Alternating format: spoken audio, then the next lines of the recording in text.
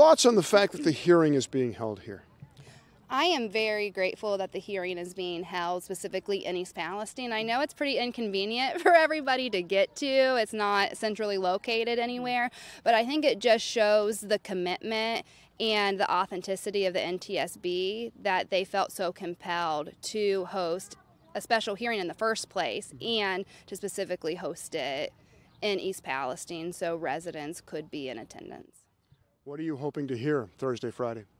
Oh, that's a good question. I'm really hoping to hear a lot, and I'm just really praying that there are very authentic answers mm-hmm. that are given from everybody who's testifying. I don't want to hear those canned responses where you can tell that like a legal team put them together and said like you cannot deviate from this plan. Mm.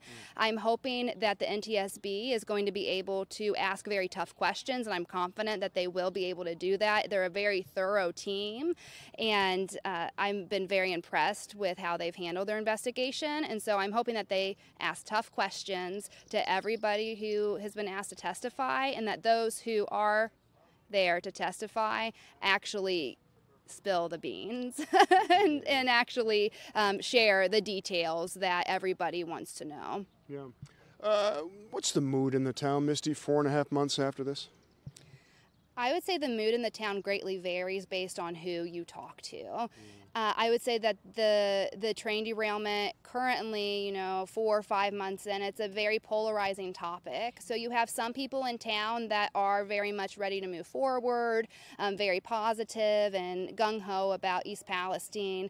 Uh, being able to have the greatest comeback in history. And then you have some people that are still evacuated and who are having a lot of health issues and are just really scared for their lives and uh, you know don't understand how people could rebuild when you know that hurricane or like the eye of the storm is still over top of the town so that question is going to be answered very differently based on who you talk to in town what do you and i would think you're probably among the former you're gung-ho on the town what do you see east palestine looking like uh, feeling like in say 10 years that's a great question. So I would say that my response to everybody, I feel like both of those schools of thought can be true. I think that you can be very concerned about the current healthcare situation that's going on in town. I do strongly feel that there are some people that are very sick and that needs to be investigated to really get to that root cause of why is this happening and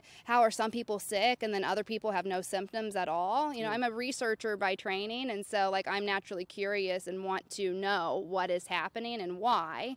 Um, and then, you know, for the people that are relocated, that's so heartbreaking. And so I would hope that 10 years from now, and even, you know, not even just 10 years from now, but even in the short term, that there would be some some parameters or guidelines or assistance that could help with long-term healthcare monitoring and with home value protection or relocation for the people that want to be relocated. Mm-hmm. And then I just really hope that there is some commitment to economic development in town too, because it has really devastated the town.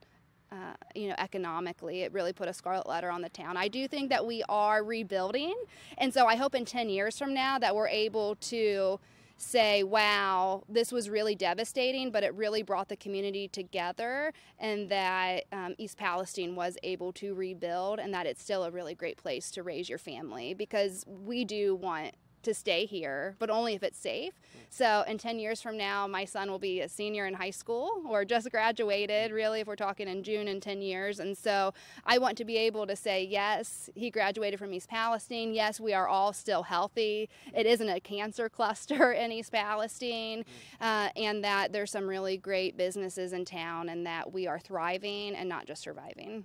I will look forward to having that positive conversation with you in a decade. Yes, right. I'll hold you to that. Thanks yes. so much, Misti Allison. Thank Thanks so much.